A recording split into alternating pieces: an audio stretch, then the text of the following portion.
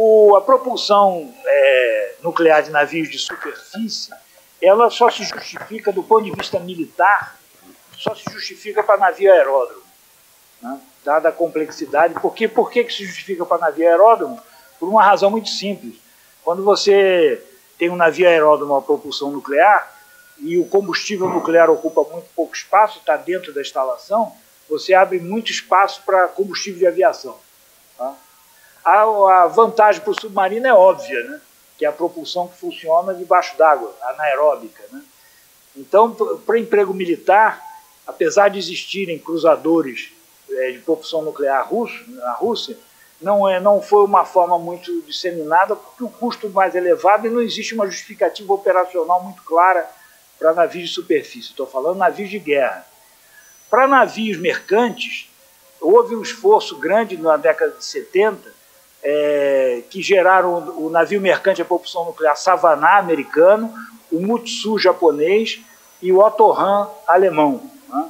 Esses três navios mercantes foram protótipos de demonstração que funcionaram, funcionavam muito bem. O problema era o o problema era a aceitação entrada em porto, aí tem a ver com a aceitação pública. Esses navios criavam problemas de aceitação pública que economicamente um operador, um operador mercante não, não, não, não, quer enfrentar, que tem custos, às vezes, é, sem, meio imprevisíveis. Né? Então esse assunto morreu durante um tempo, mas esse assunto vem sendo retomado. Vem sendo retomado especialmente para a classe de navio, esses ultra large é, é, porta-containers, para andar em velocidade alta, você ter um navio muito grande, transporte muito container em velocidade elevada, a propulsão nuclear acaba tendo o mesmo efeito do, do combustível de aviação do navio aeródromo. Né?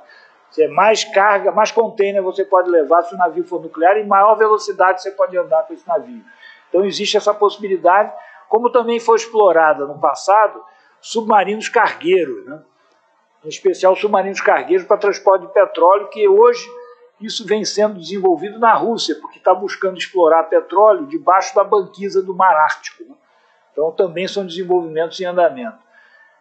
Além de tudo, a descarbonização, né? porque a, a, a marinha mercante, o transporte marítimo, é um componente significativo na geração de gás de efeito estufa no mundo. Né? Então é uma, também tem esse efeito paralelo.